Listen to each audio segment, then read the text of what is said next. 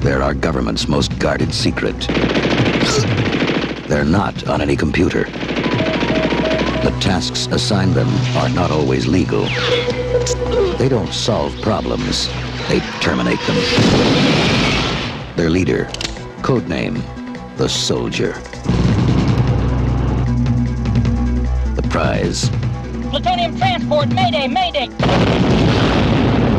The demand.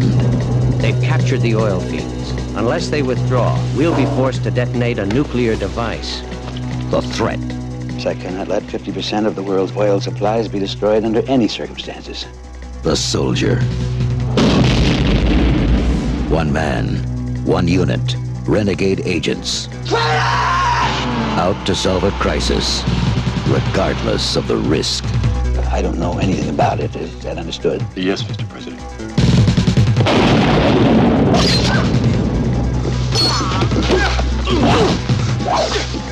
They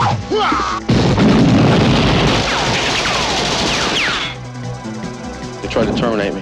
What? They're changing the game in a major way.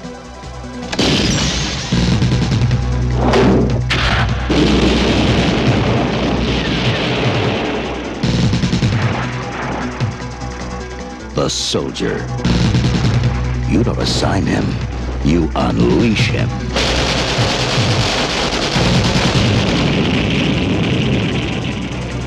The Soldier.